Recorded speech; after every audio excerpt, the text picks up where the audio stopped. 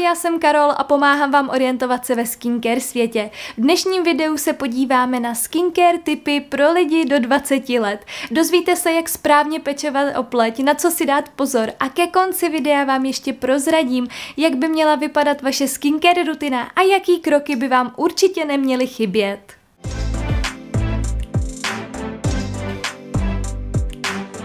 Takhle na začátek videa tak vám prozradím, že tady v tom pokoji je teda strašný vedro.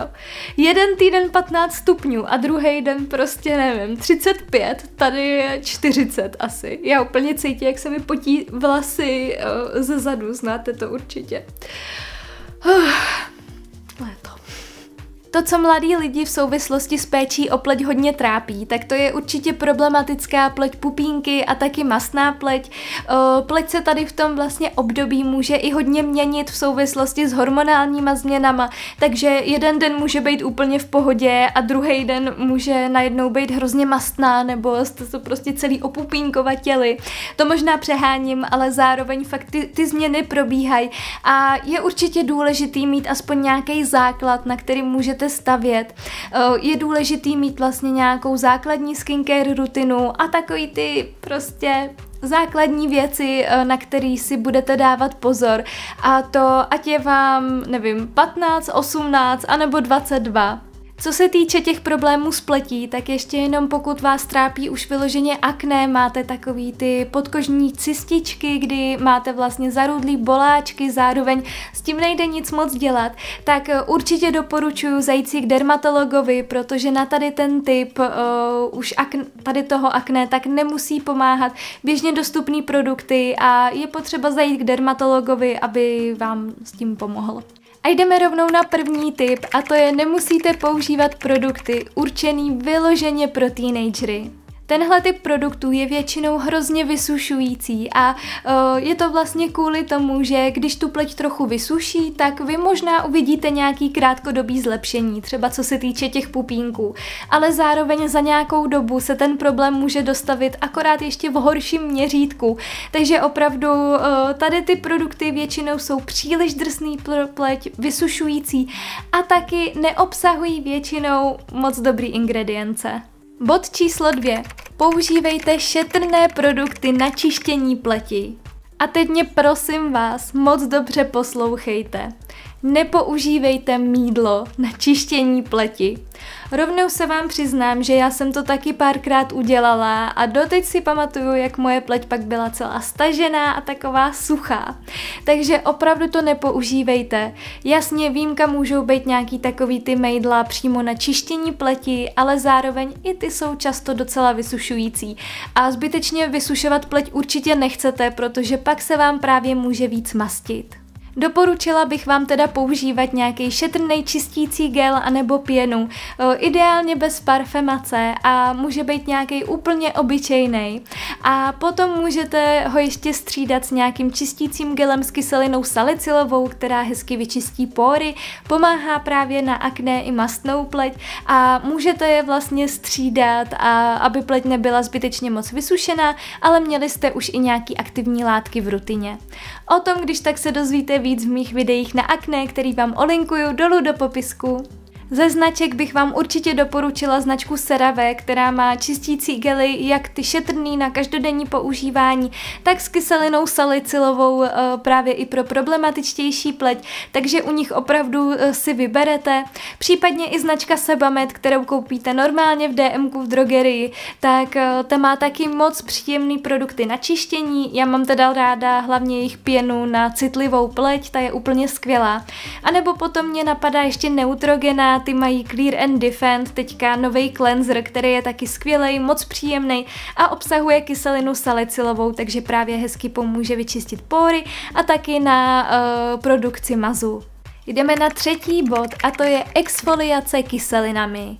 Zapomeňte na různý DIY eh, vychytávky na peelingy, ať už z Pinterestu nebo TikToku. Eh, kašlete na nějaký eh, cukrový, kávový nebo jiný skraby.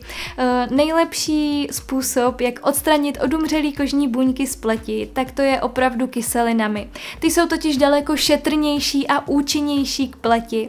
Ony totiž neobrušují vaší pleť, kdy vy vlastně nemáte tolik kontrolu nad tím, co a jak odstraníte. Ale ony rozpouští vlastně vazby mezi těmi kožními buňkami. A díky tomu je potom hezky rozpustí a vaše pleť je šetrně exfoliovaná. A díky tomu může být rozzářená, rozjasněná a e, i vyhlazená. A právě exfoliace pomáhá krásně i na pupínky.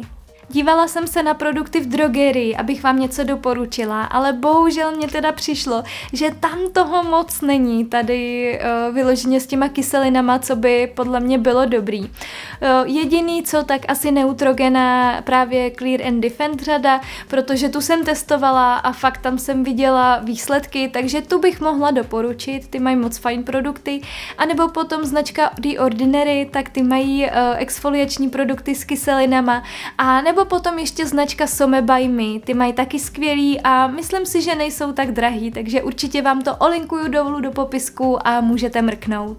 Čeká nás předposlední bod a to je používejte krém z vašich zpráv, z toho, co vidím, slyším kolem sebe a i z toho, jak se, jaká jsem byla já, tak jsem tak vypozorovala, že teenageři většinou moc nechtějí používat hydratační krémy.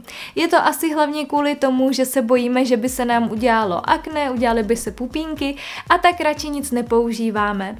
Jenže je prostě blbý, že naše pleci to kompenzuje, protože vlastně během dne ztrácíme vodu a když ji do pleti nevrátíme, tak ona si to bude kompenzovat a bude se ještě víc mastit nebo ještě víc se můžou tvořit nedokonalosti. Takže opravdu používat krém je naprostý základ, protože jinak se vaše pleť bude akorát zhoršovat. Za hydratační krémy podle mě není potřeba úplně moc utrácet. Jasně, já už si třeba ráda koupím trošku nějaký lepší, ale zároveň krémy z drogerie jsou úplně v pohodě a zrovna eh, to je teda typ produktu, který tam je opravdu jako hodně zastoupený a jeho tam opravdu můžete si vybírat spoustu uh, typů. Takže asi bych koukala třeba spíš na tu dražší půlku uh, v drogerii, abych nekupovala krémy opravdu opravdu za těch, já nevím, 50 korun nebo kolik stojí ty nejlevnější, ale abyste vybrali něco trochu kvalitnějšího, ale zároveň určitě se toho nebojte, vyberte si, jaký vám bude sympatický. Jasně, třeba nebude mít úplně nejvíc ideální složení, eh, bude mít parfemaci, ale pokud budete používat krém, tak já jsem s tím úplně v pohodě. Pokud se třeba krém bojíte používat, že právě budete celý mastný, tak klidně si vyberte jenom nějaký lehoučkej s gelovou texturou, anebo jsou vyloženě i oil-free krémy, kde nemáte vlastně žádný oleje, takže vážně se nemáte čeho bát a jenom vyzkoušejte něco, co by vám mohlo vyhovovat. A jdeme na poslední bod a to je používejte SPF. Věřte mi, když vám řeknu, že začněte používat SPF ochranu před UV zářením opravdu každý den, pravidelně. A když začnete teď, když je vám do 20 nebo kolem 20, tak si za 10, 20, 30 let tak poděkujete, protože vaše pleť bude krásná a budete opravdu vypadat nádherně mladě a budete mít daleko míň vrásek, daleko míň známek stárnutí, než byste měli, když to nebudete používat. Takže jestli si vzít jednu věc z toho videa, tak opravdu začněte používat SPF každý den.